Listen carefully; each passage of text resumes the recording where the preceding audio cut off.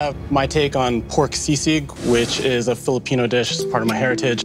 This dish, bursting with flavors from Chef Denevin Miranda's roots in Pampanga, Philippines and New York City, earned him the title Chopped Champion in season 46 of the Food Network's hit show Chopped, which was shot in a pandemic bubble in Knoxville, Tennessee. Denevin had such an amazing appetizer, maybe the best dish of the entire competition. I'd love to incorporate uh, my heritage, the Filipino uh, cooking and food, and and you know um, my extensive knowledge. But most of all, I think to use it as a platform to to you know give our our country you know some some identity, which is which is fantastic. A week after his win, the Fil-Am chef de cuisine at the Osprey reopened this contemporary American restaurant at the One Hotel in Brooklyn. As the Osprey's executive chef since 2019, Miranda created its new farm to table menu that celebrates the cultural diversity of New York City with a touch of the flavors of the Philippines. Having a little bit more of a global approach and, and really um, kind of showcasing um, techniques that I've used and, and with, throughout my career. He promised his winning pork sisig will be added to the Osprey's menu soon.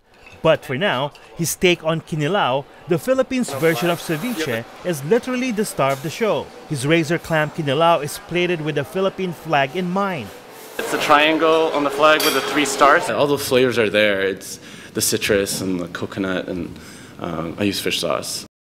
Miranda honed his cooking skills at a very young age, cooking with his grandma or Lola. She would not cut any corners. If she wanted to make, you know, uh, um, coconut milk, uh, she would wring it up. You know, oh, she had the little yeah. stool with the yes, the little thing, and then you'd sit there, and then she'd make me sit there for hours and wow, just. they brought that here. But Miranda said it was his very last conversation with his dad that truly moved him to follow his dreams and to be true to himself as a gay man.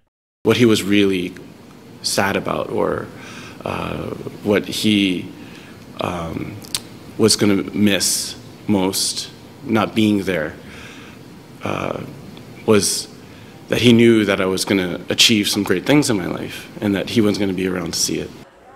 Miranda dedicated his chopped win to his dad for giving him the courage to come out and share his story to others as he continues to shine in the culinary world.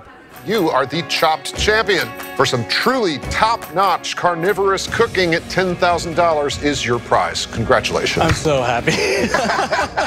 Such a huge relief. Don Tagala, so ABS-CBN News. Absolutely. And this is definitely for him. Although I pictured myself as a winner from the